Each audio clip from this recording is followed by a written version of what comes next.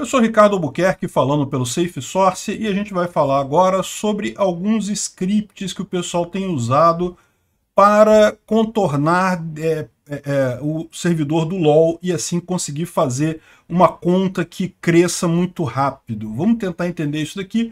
Eu confesso para vocês que eu não sou um grande especialista em LoL, mas eu fiz uma consultoria com meus filhos aqui, eles me explicaram algumas coisas, eu acho que eu entendi qual é o ponto central disso daqui, e mais do que isso, aqui tem uma informação muito importante para qualquer desenvolvedor de software, principalmente quando você tem o cliente solto diferente do servidor. Né?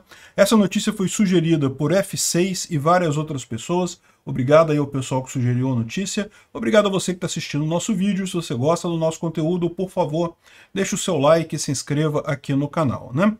Pois bem, o LoL, vocês sabem, é League of Legends, é uma, um, um, jogo muito conhecido, muita gente gosta, meus filhos jogam pra caramba. Eu tentei jogar, eu criei um usuário lá, joguei um pouquinho, mas eu confesso que eu nunca, não, não, me empolgou o jogo, né? Enfim, uh, e a questão toda é a seguinte, o pessoal com o tempo começa a descobrir algumas formas de burlar o jogo. E uma dessas formas que eles conseguem burlar esse jogo é o chamado, é, é você criar uma conta que ela não perde PDL. O que, que é o PDL? O PDL é o ponto de ranking que você tem no jogo. Então, se você começa a jogar aquele jogo e você... É, é quando você começa, normalmente você não está em, em, partidas ranqueadas, tá? Você começa a jogar como um player aberto. Mas em determinado momento, se você jogar direitinho, né, for um bom jogador, você pode começar a jogar partidas ranqueadas. E a partir daí, você começa a ter esse ranking que, se você ganha o jogo, você vai subindo no ranking, pode virar bronze, prata, ouro, sei lá qual é o outro nível que você tem. Ou, e se você perde, por outro lado, você vai perdendo esse ranking principal seu, né? Então, uh, uh, como é que é o truque que eles faziam aqui? Eles conseguiam uma conta que conseguia jogar ranqueado, mas que não perdia esse ranking mesmo que você perdesse a partida. E eles faziam, praticavam o chamado feeding intencional, que é o quê? É você simplesmente é, não jogar, jogar mal, de propósito, de forma que você perca um jogo, né? Veja, numa conta normal, sem o hacking, se você faz isso, você perde o jogo, você perde a sua graduação. Então não tem interesse isso para você, você não quer perder o jogo. Mas nessa conta hackeada, você perde o jogo, você não perde o seu ranking. Então, o que, que eles faziam aqui? Eles chegavam com uma, com uma conta ranqueada num nível relativamente alto, é, faziam esse hacking, né, e que de forma que eles podiam perder um monte de jogo, que daí tem uma, um outro ranking oculto chamado então você passa a ter um MMR de elo baixo, ou seja, você é um jogador que é classificado temporariamente como fraco, embora você esteja numa liga muito alta. E qual é a vantagem disso? Essa conta, se a pessoa quiser começar a jogar sério, ela sobe muito rápido. Por quê? Porque ela consegue fazer vários jogos com outras pessoas que não são tão experientes assim, que ainda estão começando ali no ranking, e aí ela começa a subir muito rápido no ranking a partir daí. Né? Então o que, que esse pessoal fazia? Eles é, trabalhavam nessa conta, geravam essa conta e daí vendiam essa conta para quem tivesse interesse em crescer muito no jogo. Você conseguiria rapidamente subir. O grande segredo dessa história toda é como é que você não perde o PDL. Né? Se você perde o PDL, não ajuda em nada. Você, quando perde a partida, não te ajuda em nada. Mas se você consegue manter o PDL e perder na partida, você cria essa conta que consegue depois subir muito rápido e chegar até os níveis mais altos ali do, é, do jogo no LoL, né? E, bom, a grande curiosidade dessa história toda, que é o ponto central da história nossa aqui, é justamente como que eles faziam isso? Qual era o truque que eles faziam nisso daí? E, aparentemente, o truque era usar um nome de usuário que tinha caracteres inválidos dentro desse nome de usuário. Por algum motivo, o servidor uh, aceitava esse nome de usuário errado, mas não computava o PDL no caso dele, ou seja, não reduzia o PDL nesse nome de usuário. Veja, o curioso é o seguinte, se você botar esse nome inválido no cliente, no cliente do, do LoL, você criou ali, instalou o LoL na sua máquina, você vai lá e cria esse usuário uh, uh, com nome inválido, ele vai reclamar. O cliente não vai deixar criar esse usuário, porque ele diz que, olha só, o nome está indisponível, o nome está inválido, eu não aceito esse nome.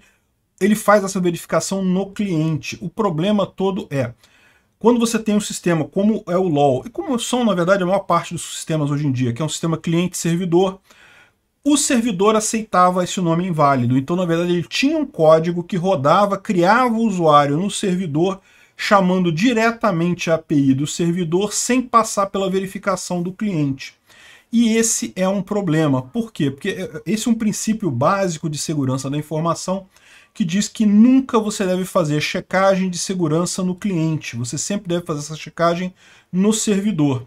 Tudo bem, a gente sabe que nesses jogos é muito difícil fazer esse tipo de coisa, porque na prática é, é, o cliente acaba sendo muito importante, né? muito do processamento é feito no cliente do jogo e não no servidor, mas é, pelo menos o mínimo de validação você deve fazer no servidor para evitar esse tipo de coisa. Se você valida apenas no cliente e o servidor aceita qualquer coisa, se torna muito fácil para alguém adulterar o cliente ou então chamar diretamente o servidor e criar essa conta inválida lá no servidor. Né? Então parece que é, o hacker era utilizado para interagir com o servidor da Riot e é, sem passar pelo cliente. Né? Então criava esse nome proibido e a partir daí é, você tinha uma conta que não perde nem ganha PDL. Né? É, ao mesmo tempo, tecnicamente, ela não existe para Riot, então ela não, não ganha nem perde PDL. E essa era uma das vantagens que eles conseguiam fazer com esse tipo de, é, de ataque. Né? Esse, então, é uma lição que a gente tira dessa história. Sempre faça validação de segurança no servidor, nunca no cliente, nunca no código que está na mão do seu usuário. Né? Agora tem outras coisas aqui também. Né? Teve o caso, a gente falou sobre isso também, que roubaram o código-fonte do League of Legends, então com isso eles puderam estudar muita coisa ali dentro e eventualmente até fazer alguns ataques adicionais. Dizem que hoje tem uma verdadeira, um verdadeiro mercado de scripts que fazem adulterações no sistema e coisa e tal. É uma coisa complicada, não recomendo ninguém fazer isso, é algo ruim, isso prejudica o jogo no final das contas. Mas enfim, do ponto de vista de segurança, esse é o outro lado dessa moeda. Né? É, é, é o cuidado com a segurança do código-fonte pode ser muito importante nesse tipo de situação, quando você tem um sistema onde essa segurança é crítica. Eu já falei aqui, nem todo código-fonte é sensível do ponto de vista de segurança, alguns não têm essa necessidade toda de ter segurança no final das contas, mas nesses casos assim pode ser realmente muito crítico esse tipo de coisa, né? Se chegou até aqui e gostou do conteúdo, clique no like e se inscreva no canal. Isso me ajuda a ganhar relevância no YouTube e levar o tema da segurança no desenvolvimento de software a mais pessoas. Obrigado. Considere também clicar no sininho e pedir para ser notificado dos novos vídeos. Caso queira sugerir uma notícia para falarmos aqui, é só ir no nosso site https safesource.com, safesrc.com e clicar em sugerir uma pauta, colocar o link da notícia ali. Agradeço a todos que nos ajudam a fazer esse programa.